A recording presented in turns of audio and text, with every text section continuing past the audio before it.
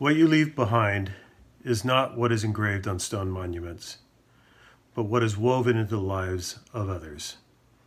The Greek statesman Pericles said this 2,500 years ago, and I believe it's as true today as it was then. He's talking about one's legacy. Hi, I'm Joseph King, a program director at the Advanced Research Projects Agency for Energy within the DOE. Today, I'd like to talk to you about legacy, our legacy, and an approach we might use to mitigate the principal cause of climate change human produced carbon dioxide. The approach I'd like to discuss is known as accelerated geomineralization. Currently, the energy and cement sectors produce just north of 35 billion metric tons of CO2 annually. Total global production estimates run as high as 51 billion metric tons. Speak, people speak about carbon capture and sequestration, or CCS, and carbon capture utilization and sequestration, CCUS, but total utilization and valorization opportunities are extremely small relative to the real size of the problem. So small that storage or entombment becomes a mandatory requirement for reaching curtailment, net zero, or net negative goals. Before we get into why I think mineralization is critically important, let's review a few of the terrestrial approaches commonly proposed as sequestration solutions. This slide shows a common representation of an oil and gas production site. Note the shallow well used to collect natural gas, a much deeper, unproductive well known as a dry well, ironically full of water, and the mid-level sweet spot is where the crude oil lies. Overlaying all of this is the cap rock, usually a sedimentary rock layer composed of sandstone or shale that entraps it all. Once depleted of these valuable fossil resources, you're left with a storage space for other fluids. This is what most groups propose as the, the major, most reasonable sequestration site. You might ask, well, do we know how to get the CO2 down there? Absolutely. The oil and gas industry has been using a variety of fluids, including CO2, to do enhanced oil recovery for more than 50 years. But it is not quite as simple or clean as depicted here. Usually wells for miles so show some level of enhancement as the CO2 migrates all around. So Joe, if the space is already there, and we know how to fill it, what's the concern? Well, first off, we've taken a perfectly good diaphragm that has worked for millions of years and punched tens of thousands of little holes in it. But you might wonder, can't we just plug the holes with cement once we fill the space below? Yes, you could if you knew where all the adjacent holes were too. Many spent abandoned wells date back to the 19th century, and we did, didn't even start an accurate record keeping system until around the 1950s. But even if we could locate all the holes and plug them, modern cements only last 50 to 70 years. Geologists will tell you things like mineralization takes thousands and thousands of years, usually longer. You might as well dump nuclear waste down these holes since it will decay to a safe level faster than natural mineralization will ever occur.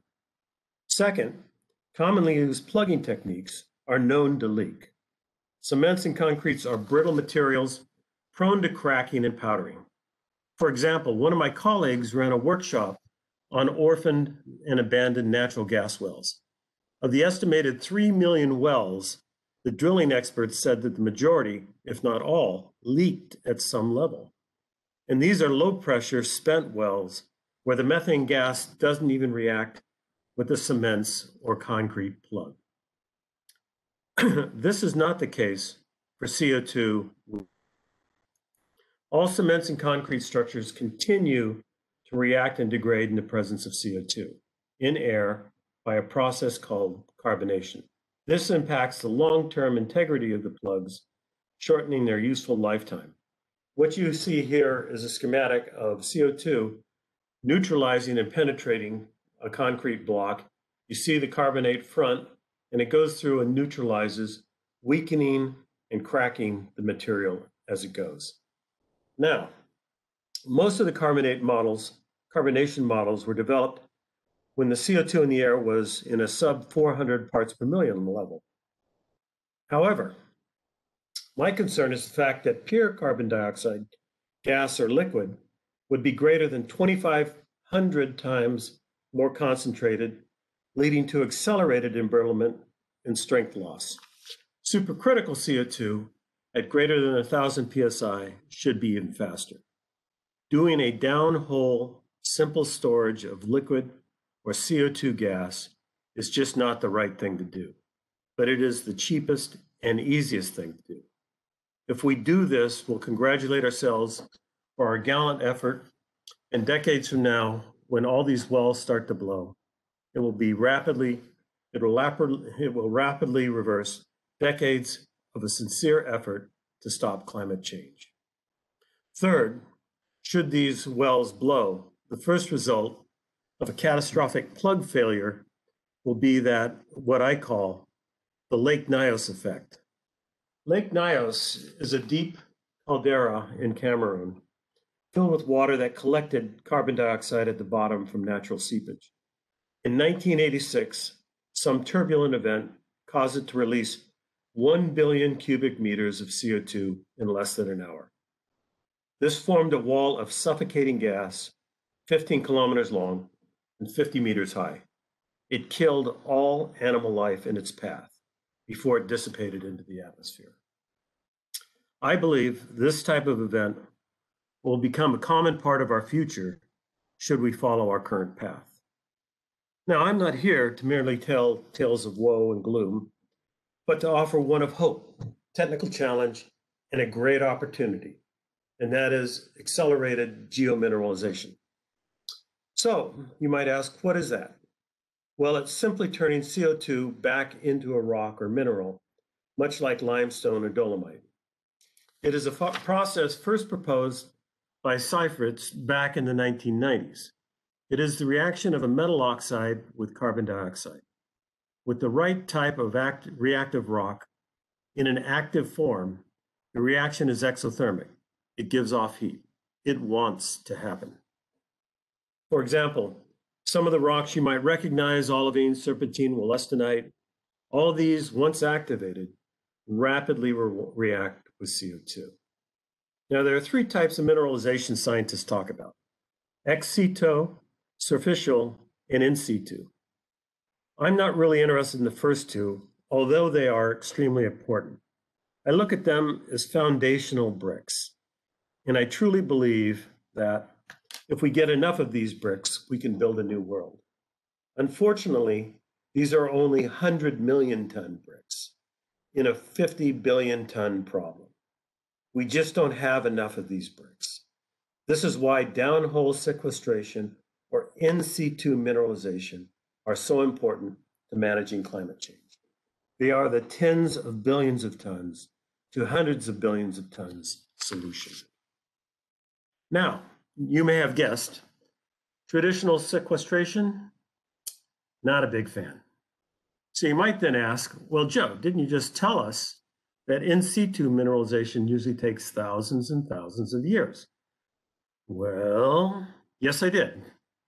That's why I took great interest in a number of reports out of Iceland, where they observed unusually rapid mineralization and complete consumption of the injected carbon dioxide in under two years. They took core samples to validate their observations to confirm which minerals were being formed. They attributed the, ra the rapid reaction to having special or suitable basaltic rock in Iceland relative to other places. For me, the key phrase here was suitable basaltic rock.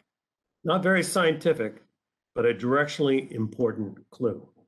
Iceland, as you know, is basically a lump of basaltic rock on a highly volcanic zone. it is well known that in order to get a material like wollastonite, limestone for Portland cement, or metakaolin to react, you need to thermally pre-activate them prior to their use. you use generally a kiln. Now, if you look at the Earth as a dynamic chemical reactor, then magma and volcanoes are nature's natural kilns. As such, they activate and calcine rocks by dehydration, that's the loss of water, and decarboxylation, the loss of CO2. And if these rocks stay in this virgin activated state, like the basalts in Iceland, they are primed to react with CO2, resulting in accelerated mineralization. However, rocks exposed to decaying biomass and petroleum fluids for millions and millions of years seem to be highly passivated or deactivated. In addition, these oil and gas sites are generally not in basaltic or mafic environments. This difference would explain the wide variance in reactivity reported in the scientific literature. Now, my colleagues at NREL have already mapped where we should look for similar opportunities. This is a map of the geothermal sites across the United States. Note that they do not include the Bakken, the Marcellus, the Appalachian, the Barnett, the Eagle Ford, or the Permian basins where most of our spent oil and gas wells are located. As a result, one wouldn't expect mineralization to occur there ever. So, the challenge is if the Icelanders have stumbled across a key that puts them on the path to solving this significant issue, imagine what an army of highly motivated, focused scientists and engineers using world class American laboratories and facilities could accomplish. So you have to ask yourself, what do you want your legacy to be? What do you leave behind?